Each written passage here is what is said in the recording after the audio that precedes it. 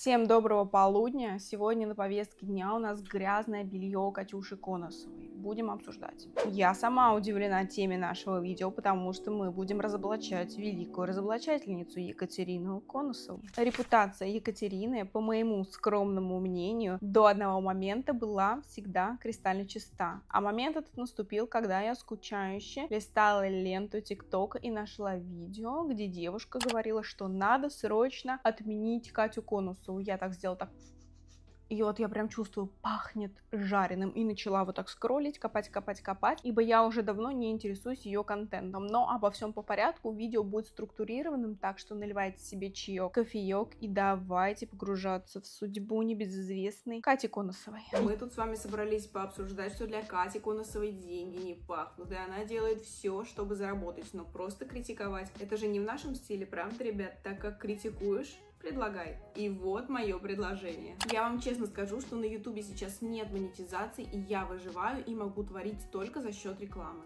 Сейчас уже никто не снимает рекламу под копирку, блогеры креативничают сами и таким образом держатся на плаву. Если вы каждый раз скипаете рекламу и думаете, эх, за что только они деньги получают, я таких реклам могу сделать 10 штук, то сейчас вы будете просто в шоке, узнав, что у вас есть возможность снять рекламу и заработать такие деньги, которые, честно, ребят, мне не снились. Пока что. А эту крутую возможность вам предлагает онлайн-школа Сотка. Сотка уже 5 лет готовит к ЕГЭ и ОГЭ. Вы можете оформить подписку и заниматься по четырем предметам по цене пары занятий с репетитором, ребят, представляете? 25 января по 10 февраля у тебя будет уникальная возможность снять креативный рекламный ролик о сотке. А задача сотки найти самые крутые ролики и за них заплатить. План действий такой. Сними ролик о сотке, выложи его в любую соцсеть, кинь ссылочку в их телеграм-бот и отметь их аккаунт топ-9 роликов получит по 100 тысяч рублей, а тот, который наберет больше всего просмотров, получит 200 тысяч. Призовой фонд целая куча денег, миллион сто тысяч. Переходи по ссылке в описании, жми кнопочку «Участвовать», она перекинет тебя в телеграм-бот, где ты сможешь получить все материалы для своего будущего видео. После публикации обязательно отправь ссылочку к ним в бот, иначе твой шедевр просто потеряется, его никто не увидит. Вуаля! Ты великолепен, осталось только ждать результатов 11 февраля. Муа, удачи! Я-то думала, здесь комар носу не подточит, но, знаете, подточит до такой степени, что получится скульптура эпохи Ренессанса. Давайте обо всем по порядку. А порядок начинается с начала ее карьеры. Начала она вести свой блог 24 августа 2016 года с обзоров на Алиэкспресс. Далее ее контент постепенно эволюционировал в сравнении одежды с Алика. Всем привет! С вами я, Катя Конасова, ваш первый и официальный Алиэкспресс-блогер. Той же Зарой или Цумом. 13 февраля 2019 года состоялась первая в истории ее канала разоблачение на шоурум, который торгует палью с Алиэкспресс. Ой, слушайте, у меня знаете, какой еще вопрос? Я там читала в комментариях э, под некоторыми вещами. Там пишут о том, что некоторые вещи есть на Алиэкспресс. Такое может быть? Не знаю, ну по качеству точно нет. Как я проанализировала, просмотров на этом ролике резко стало в полтора-два раза больше, и тогда Катя вооружилась лопатой и поняла, вот она, золотая жила, будем ее копаться. Ну и дальше появились уже всем нам знакомые выпуски боги бизнеса. 28 июля того же года был знаменательный день. Мы увидели венец ее карьеры, просто жемчужину, разбор сыворотки Фем Фаталь. Точнее, даже не разбор, а великое полномасштабное разоблачение. Это была действительно большая профессиональная работа, с которой началась веха Екатерины Конусовой, такой, какой мы знаем ее сейчас дешевый антибиотик под видом безобидной косметики. Тут уже правоохранительные органы должны расследовать, каким образом к ним этот препарат попал. Большая часть покупателей – подростки и дети. Был химический ожог. Вот кого травят без стыда и совести. Это можно считать отправной точкой в ее карьере разоблачительницы. В своем же телеграм-канале я спросила у моих подписчиков, ребята, а что вас смущает в канале Екатерины Конусовой? И дальше я буду перечислять то, что назвали конкретно мои подписчики. Ну а вы, мои сладенькие, я не знаю, что сидите, почему до сих пор не подписаны на наш телеграм-канал, особенно учитывая, что у нас завелся чат «Уютное кафе», где мы каждый день обсасываем новости летние, просто общаемся. Очень весело, задорно. Ссылочка будет в описании, я жду тебя там, и если тебя еще там нет, то я не знаю вообще, что ты делаешь. М? Прекрати. Ну что ж, поехали разоблачать разоблачительницу. Всем пристегнуться и встать. Суд идет. Я не понимаю, почему до недавнего времени все молчали, потому что я заметила это уже давно. Но у меня стадное мышление, и когда никто об этом не говорит, мне начинает казаться, что все в порядке, ничего такого не произошло. Даже если я подмечаю какие-то несостыковки, микро и макро детали, складываю это в общую картину и прихожу к знаменателю, если я вижу, что таких видео еще не было, значит мне начинает казаться, что мнение большинства ошибочно правильное, и мне все только кажется. Не стоит выносить на все общее обозрение, потому что я окажусь не права. Все же молчат, значит мне одно и кажется. Но нет, я на самом деле сейчас корю себя за то, что не вынесла это на суд божий, на суд ваш раньше. Побоялась, побоялась, знаете ли. Думала, что была не права, а была, как всегда, права. Ну, кто бы сомневался, правда же? Угу. Всем привет, ребята, еще раз, я к вам со срочным включением, я уже закончила основную часть сценария, монтаж, видео готово к отправке, но я сейчас записываю эту ставку, потому что ко мне пришла просто невероятная какая-то информация, которую я уже не успеваю полноценно поделиться именно здесь, в формате ютуба, собирать материал, монтировать, видео должно выйти сегодня, чтобы быстрее вас порадовать. Короче говоря, в чем ситуация? Я обсуждала со своей подругой, Катю Конусову, выпуск ролика, она мне говорит, о боже мой, Вик, ты знаешь, что вообще а, у меня есть трешовая информация про нее, мы с ним вместе работали, и я подумала, о боже мой, когда я это услышала. Короче, она дала мне мини-интервью, и оно в моем телеграм-канале, он называется Бальмон. Ребята, заходите, слушайте. Если вам не хватило того трэша, хотя я уверена, что вам его хватило, который будет и уже был в этом видео, то обязательно приходите послушать, как делаются на самом деле разоблачения Кати Конусовой и насколько, оказывается, для этого человека деньги не пахнут. Но это на самом деле полная жесть. Короче, а, все будет у меня в телеграм-канале по ссылочке в описании. А, название телеграм-канала Бальмонт. Переходите, слушайте, офигевайте. Обозревая инфо-цыган и их инфопродукты, она сама мало чем от них отличается. Забавно, что в ролике с большим обзором на инстахрючеров она сама рекламирует школу онлайн обучения. По сути, такие же курсы, которые не гарантируют вам какого-либо результата. Все то же самое, что и в курсах какого-нибудь Косенко. А еще дизайнер презентации – это самостоятельная, творческая и высокооплачиваемая профессия. Каждый день 800 человек ищут, кто им сделает презентацию. Один слайд на рынке стоит в среднем полторы тысячи рублей. Блиновской и прочего зверя. Вы сможете зарабатывать, утверждает она, более 200 тысяч, окончив эти курсы. Освоите новую профессию, начните зарабатывать от 200 тысяч рублей в месяц на удаленке из любой точки мира. Я считаю, что, конечно, один человек из нескольких тысяч, которые пройдут тот или иной курс, могут достигнуть такого потолка заработка, но, конечно же, не все, и обещать гарантированный результат точно не стоит. Обещают гарантированный результат у нас на ставках и всякие мошенники, которые толкают свои курсы. И я уверена, что пройдя какой-то марафон желаний Блиновской или курс по заработку или по рилсмейкингу от Косенко, один человек из нескольких тысяч то точно выстрелит. Но не потому, что он прошел охренецкий крутой курс, а просто потому, что у него уже были врожденные какие-то задатки к построению карьеры в этой области. Бонусом, конечно, подписчики вменяют ей сомнительную рекламу скиллбокса, на которую сделали уже кучу разоблачений и пришли к выводу, что это какое-то говно. Я понимаю, что деньги не пахнут, кормить большую команду 100% надо, но неужели деньги не пахнут? У Кати же точно есть большая команда пиарщиков, которые обрабатывают входящие заявки на рекламу. Почему они берут что-то, что пахнет тухлячком, что-то, что сомнительно пахнет? Я уверена, что ей поступает целая куча заявок на рекламу. И почему они выбрали действительно такую дурно пахнущую интеграцию? Неужели нельзя было найти что-то поароматнее? Я уверена, что в ее случае простор рекламодателей просто огромен. Выбирай не хочу. Ну почему нужно было так позориться? Особенно в случае, когда ты делаешь деньги, делаешь репутацию на разоблачение. Я лично считаю, что блогерам, которые живут на Олимпе, который называется кристально чистой репутацией, ну никак нельзя, никак нельзя измораться в том, на что упала хотя бы тень сомнения. Ведь это твой хлеб, это то, чем ты зарабатываешь, это твоя репутация. А репутация для рекламодателей и вообще для аудитории это важнее всего. Я просто не понимаю, как можно было так тупо прорекламировать Skillbox при таких возможностях. Ну сколько же они заплатили? Так, работает удаленно, со стабильным заработком, связан с компьютерами и компаниями. Всем нужен. Я знаю, где искать. Где? Skill Factory.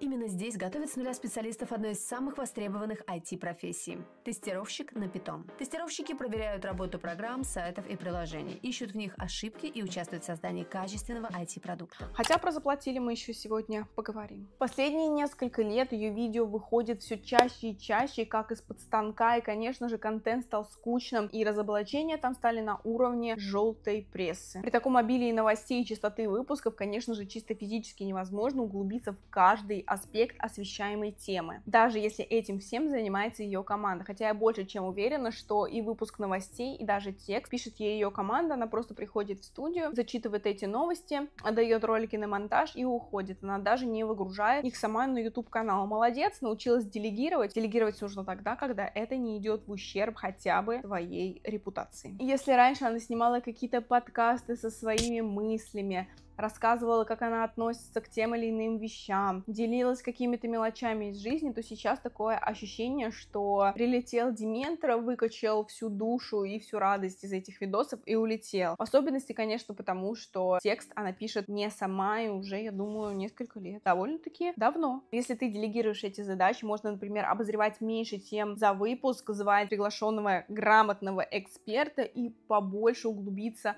каждый аспект, потому что вот так вот, так вот, так. Ким Кардашьян потерла свои пятки и продала пяточную пыль. Я не знаю, кто-то проходил, пукнул в пакет, это все продал. Вот такие новости. В последнее время мы видим от Екатерины Коносовой. Большими и классными разоблачениями здесь уже давно не пахнет. Чего стоит только разоблачение а, батончиков для спортивного питания, где она сказала, что нужно просто читать внимательно состав на этикетке для меня лично от ее экспертности осталось одно название после ее большого якобы разоблачения на то, как микротоки влияют на наш организм. И даже приглашенный эксперт только испортил, ухудшил всю ситуацию своей невежественностью. Я сама неплохо разбираюсь в действии микротоков, и когда я услышала, какой бред говорят в этом видео, у меня просто глаза на лоб полезли, я вам честно скажу. Ксения Вебер, кстати, очень грамотно в пух и прах разнесла вот это разоблачение Конусовой на микротоки. Мы все с вами знаем, что белое это не всегда белое, а черное это не всегда черное. Так же, как и в мире нет абсолютного добра и абсолютного зла. Конечно, мы даже, извините, на своих микротоках не можем гарантировать эффект а, суперлифтинга и подтяжки. Мы снимаем отечность, мы улучшаем кровоток, микроциркуляцию, улучшаем качество кожи, мы можем поднимать до самого максимального воздействия и заставлять мышцы на лице работать. У пациента создается ощущение, как после хорошего массажа. Может становиться более четкий овал за счет снятия отечности. Давайте тогда мы определимся, это какая-то вообще получается ерунда. Если это вообще все изначально не работает, а стоила ли вообще игра свечи, зачем это все обсуждать? И какой же ты специалист, и зачем же ты деньги за свою процедуру берешь, если оказывается профессиональные гаджеты, кроме того, что убирают отек, толком не работают и лифтинга никакого не обеспечивают. Алло.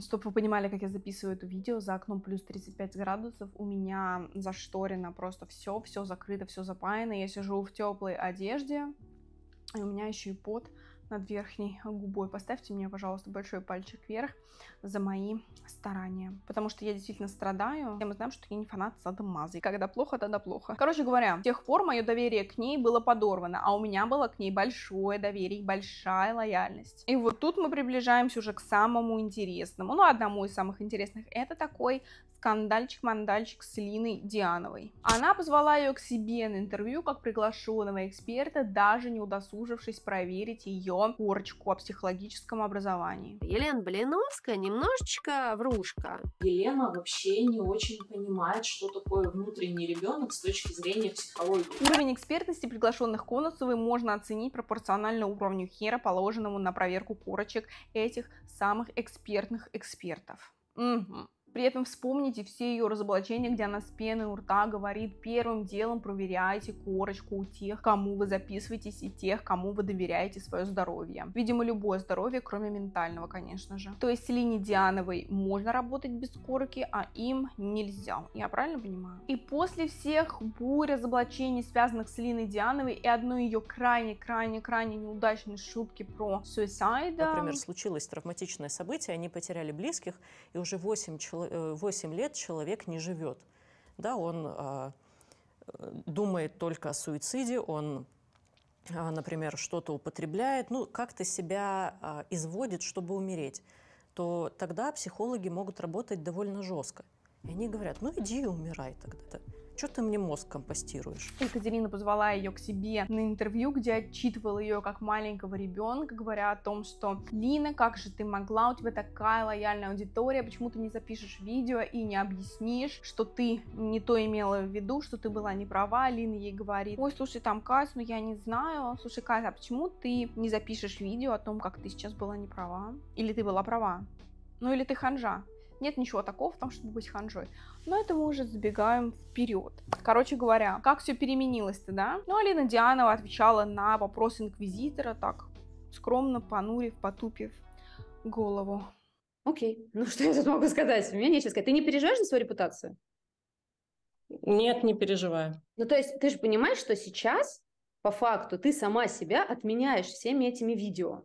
Вот тем, что ты ну, продолжаешь это все утверждать, что это нормально, это норма, это хайп, объяснит, да, что, как бы, ребята, я имела в виду вот это, я имела в виду вот это, потому что, ну, вот на данный момент ты ходишь по интервью, ты сходила к Пете, вот сейчас мы с тобой записываем видео, но от тебя как э, от человека, у которого есть свой YouTube-канал, мы не получили ответа. Вот такого прямого, живого, да, сказать, пацаны, произошло вот это, вот это вот это. Отвечаю за каждый факт. Почему до сих пор не вышло видео? Не понимаю, почему она, правда, заняла такую морализаторскую позицию белого пальто, хотя сама же звала ее на интервью как эксперта когда-то, не так уж и давно. Лицемерное морализаторское поведение мы еще с вами обсудим, потому что это маска, которую она надевает для того, чтобы ставить себя на порядок выше других людей за счет этого этого повышать лояльность аудитории. Все это вызывает большое доверие аудитории, когда ты вся такая в белом пальто, разоблачаешь всякое цыганье, конечно же, люди начинают доверять тебе. Но именно эта позиция в данном случае оказалась самой невыгодной, потому что когда ты обсрунькаешься в трусы, с тебя будут спрашивать в 10 раз больше. Что мы сейчас и видим. Я даже не знаю, если бы не ее такое поведение, все в купе, все ситуации, стали ли бы люди по ней сейчас так проезжаться трактором. Напишите в комментариях. Действительно интересный вопрос. А то, когда ты годами, годами строишь из себя святош, а потом из-под полы вылезает такой чертячий хвостик, конечно же, всем хочется за него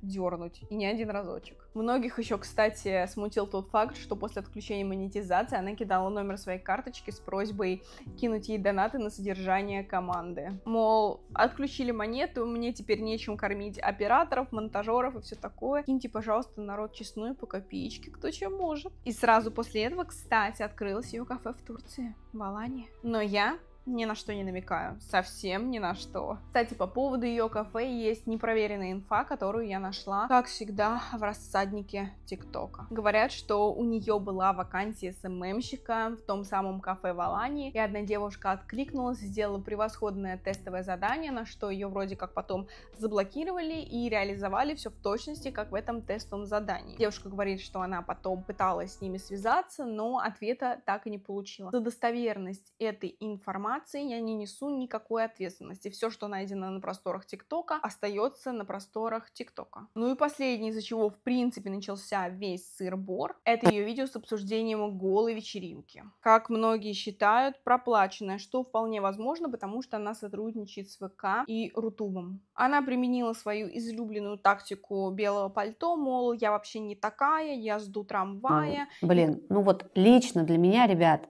это мое личное мнение. Для меня это фу. Что касается последствий того, что, собственно, произошло. И лично мое мнение, что самый гуманный и правильный вариант – это действительно лишение медийности и проектов. Но не навсегда временно, чтобы лидеры мнений взяли курс на более какую-то полезную повестку и деятельность. Но в то же самое время, как Настя и сама сказала, в ее проектах давно не было жизни. Она не понимает, кто Настя Евлеева настоящая. Теперь время себя показать. Ну а я, например, как зритель, готова принимать новые инициативы. И последний вывод, наверное, супер короткий, который может не понравиться многим. Лично я поняла, что я бы просто не хотела такие вечеринки видеть в своих новостях. Вот так коротко и емко. Я не хочу такое видеть. А вы?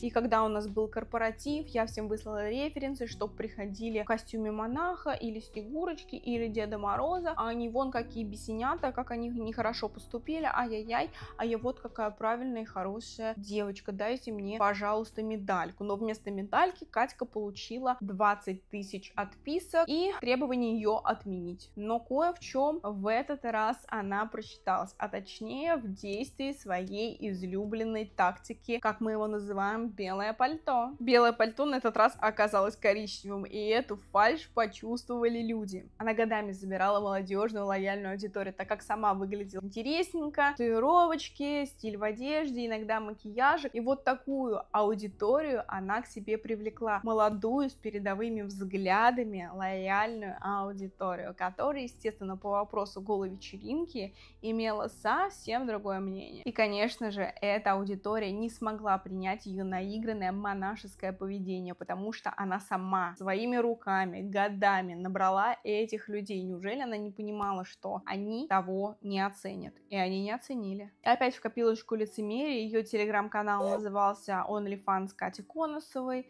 она часто не гнушалась голыми фотографиями во время беременности, там в трусиках. Просто я видела, как она записывала там то ли кружок, то ли рекламировала какое-то белье. В общем, там был топик и трусики. Что, это не считается?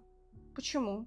Но именно это лицемерие на этот раз и бросилось людям в глаза. Потому что уж в этот раз это было слишком очевидно. Но если присмотреться, и мы это с вами уже сегодня обсудили вдоль и поперек, то этот трюк она проворачивала кучу-кучу раз. И всегда работала. План надежный, как швейцарские часы сделанные в Китае. Сейчас людям непонятен именно ее уход от проблемы и молчание. Приди, скажи, да, это проплаченный ролик, или приди, скажи, нет, это мое честное мнение. То, что она обменяла Линии Диановой, ее молчание, как неуважение аудитории, что эта аудитория ее кормит и приносит ей деньги. Кать, а тебя-то кто кормит? Не твоя ли аудитория? Не твоя ли аудитория помогла тебе прокормить команду в трудные времена, чтобы вы потом с этой командой просто забили хер вообще на всех? Уход от проблемы — это самая хреновая тактика, которая только может быть. Я думаю, что этим все так не закончится, а если закончится, то, скорее всего, это не будет означать конец карьеры Кати Коносовой, потому что культура отмены а, в Российской Федерации как таковой не было и нет, абсолютно нет. Но лояльность аудитории аудитории она, конечно же, потеряет. Но не просмотры и не подписки. Эти 20 тысяч человек все забудут, скорее всего, и вернутся заново. И будет очень печально, на самом деле, если эта ситуация так просто спустится на тормозах. Она просто отсидится, будет и дальше блокировать всех неугодных в своем телеграм-канале, и все просто вернется на круги своя. Действительно, очень странно, почему человек просто не выйдет и не скажет. Ребята, я просто мистер белое пальто, или я правда так считаю, я правда ханжа, я была не права права, когда выставляла свои фотки в трусиках и называла свой телеграм-канал OnlyFans